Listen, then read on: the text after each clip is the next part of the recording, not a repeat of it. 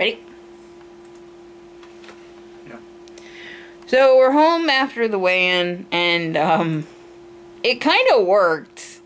Being heavier, I lost more weight, but I lost like eight, nine pounds, and Danny Boy over there lost about two to three.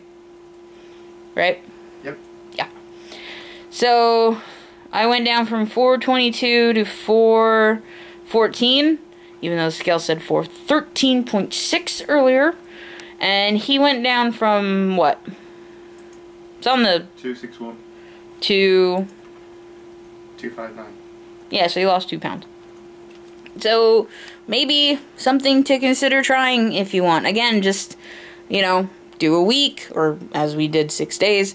See how you feel about it, and if you think you can keep doing it for a little bit, it might pay off in the end if you're trying to lose some weight. Um, I uh, told my my dietary aide what we did, and she would like me to stay with it. So I'm gonna have to suffer through another week of measuring out my shit, except on Mondays, because Monday is my cheat day. As much as my brother gives me shit that you should try and hold out for two weeks, then have a cheat day, fuck you. Everybody should have a cheat day once a week. I don't care what diet you're on.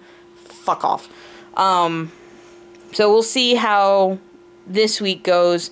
If I lose more weight, the same amount of weight, less weight, and, uh, yeah, uh, so I don't know when this is going to be up, the final part, but if you guys want to keep seeing me do this, maybe I'll keep doing it, but I'll move it over to my channel since it would just be for me instead of on, I'm assuming we're putting this on United?